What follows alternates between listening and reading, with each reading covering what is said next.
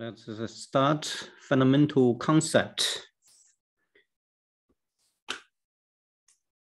At first, what is a charge? You should have learned this from your high school. Just in case you forget, let's uh, review what it is. According to physics, there are two types of charge, positive and negative. Positive and negative charges attract each other. This is uh, similar to a magnet.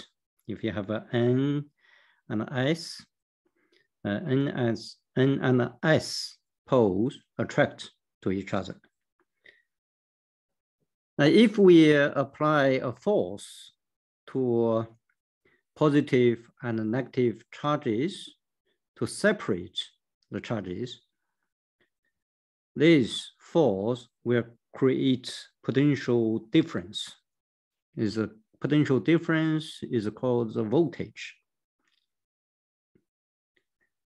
Now, if the charge move, like you have two charges move towards together, uh, those two charges movement create electric current. So this, uh, there are two fundamental concepts directly related to charge, which are voltage and current. Now let's define more uh, detail what is um, voltage. Actually, the concept is exactly the same as uh, here. When positive and negative charges are separated, energy is uh, and stored. Now this is called the voltage.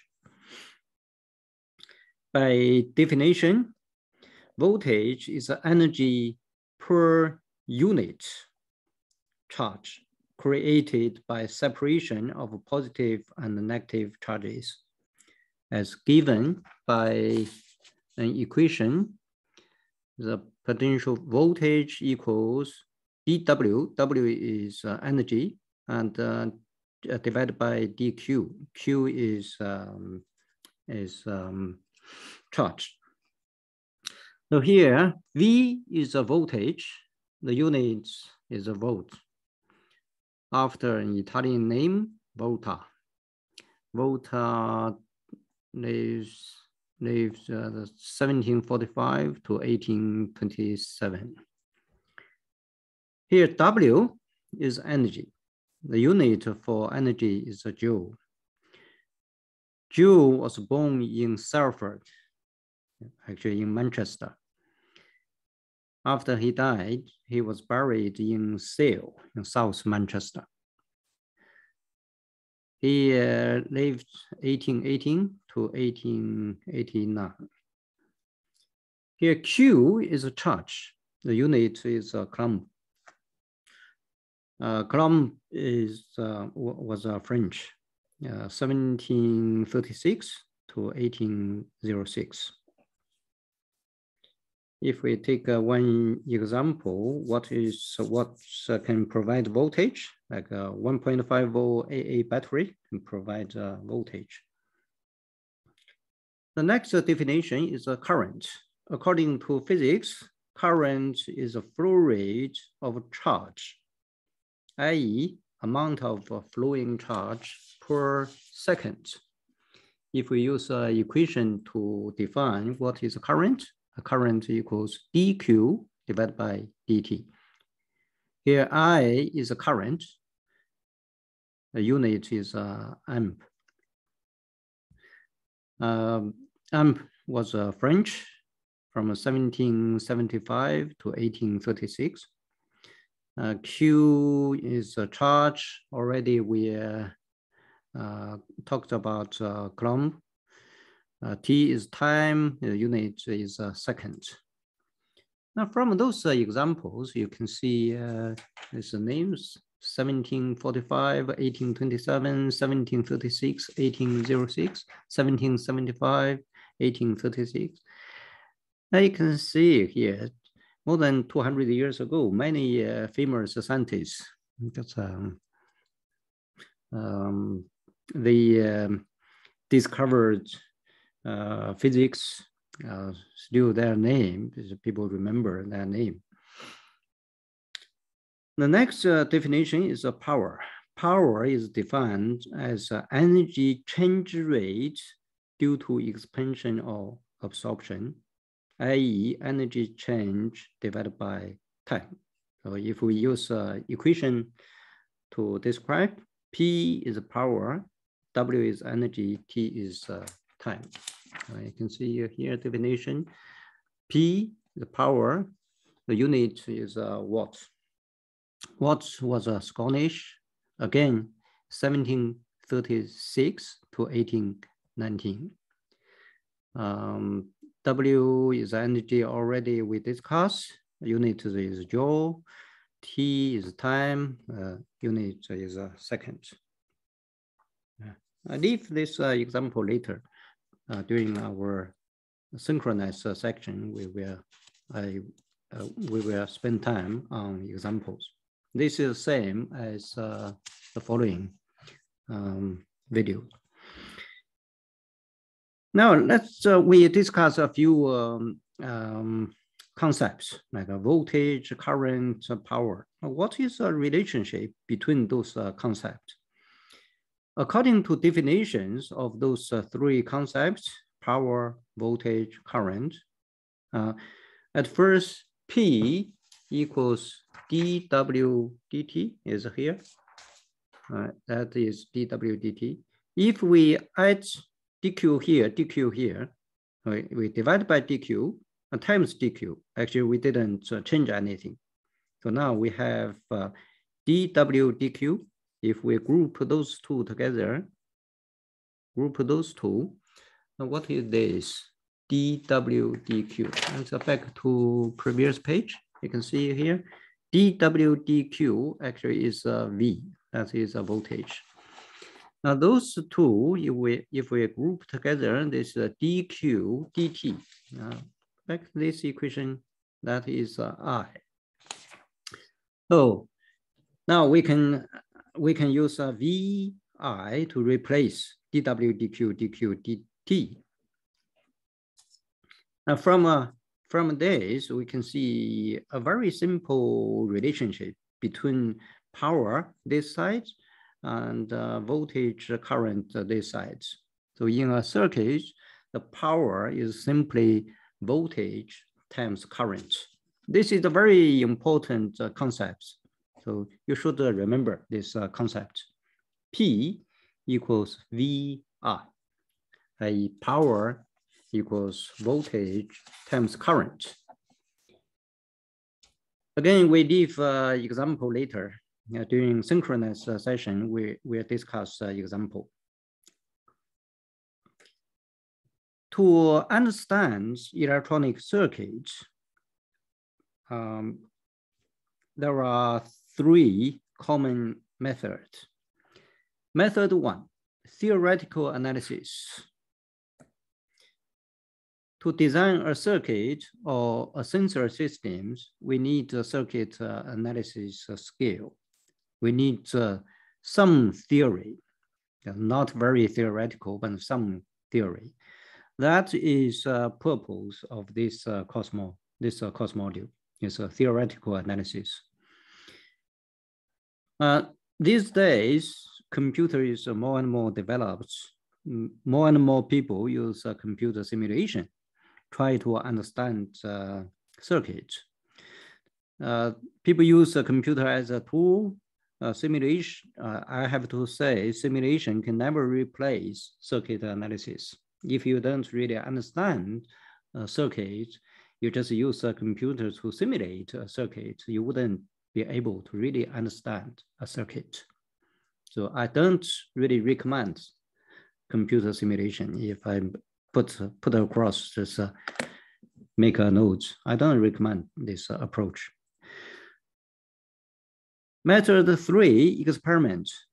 The most circuits can be built and tested in lab, but usually it is easier to analyze a circuit theoretically some circuits, you may not be uh, it, it wouldn't be easy to um, to verify by experiment. In that case, is the only way to understand a circuit is by theoretical analysis.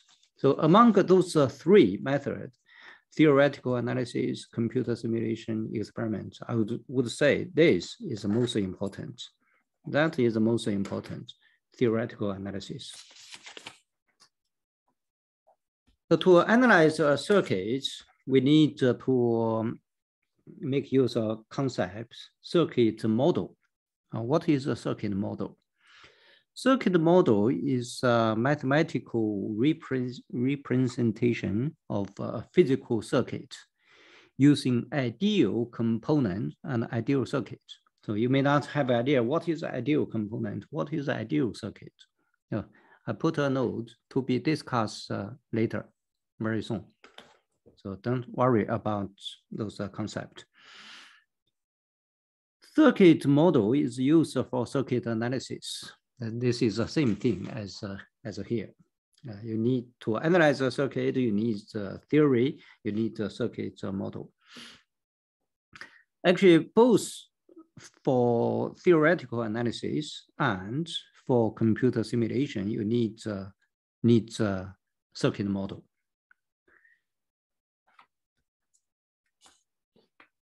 Uh, there are um, several basic uh, uh, basic circuit elements. Uh, we call the ideal basic circuit and element.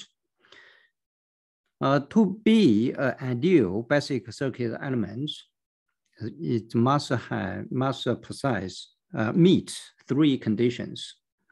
An ideal basic circuit must meet the three conditions as follows. Two terminals. And like a resistor, there are only two terminals. Right? Can be described by current and voltage.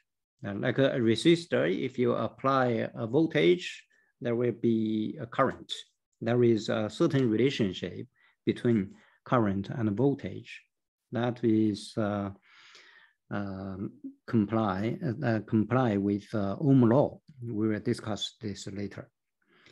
If you take a, a piece of wood, uh, that is not a circuit element because wood wouldn't you wouldn't have a current through wood. Cannot be subdivided. If you have two here, I give you an example. If you have two resistors like uh, here, if you have uh, two resistors in series together, uh, this is not uh, uh, basic uh, element. because those two you can separate, each one is, is a basic element. So those are three conditions. There is a very confused concept, passive sign convention. I read this uh, definition from a textbook to you. When the reference direction for a current in an element is in the direction of the reference voltage drop across the element, use a positive sign in any expression that relates the voltage to the current. See the following figure. Otherwise, use a negative sign. I'm pretty sure most of you have no idea what uh, this statement talks about. But here is an example. If this is a basic element, you have two terminals. Uh, here is voltage. I don't like this. I don't like this. Uh, I would prefer this is a plus minus, uh, plus minus. If your voltage you define, this is a plus, this is a minus, now you assume your current to go this way. So those two is uh, positive, that is a positive. That, that is uh, what basically this uh, statement here talk about. Actually, it doesn't, doesn't matter how to assign reference polarities for voltage and reference directions for current because different assignments do not make a difference in final results. Uh, here, this is my own explanation. It means this uh, passive sign convention is useless. If you don't understand here this uh, statement, forget about it. Uh, it doesn't really matter how you define. You define this voltage here is positive and here negative. You define current go this way or go that way. No matter. Uh, if you define in different direction, you will find your final result, you have a negative sign. That is all difference. Actually, in real sense, there's no difference. So let's uh, finish uh, here. Uh, we will continue our concepts uh, next time.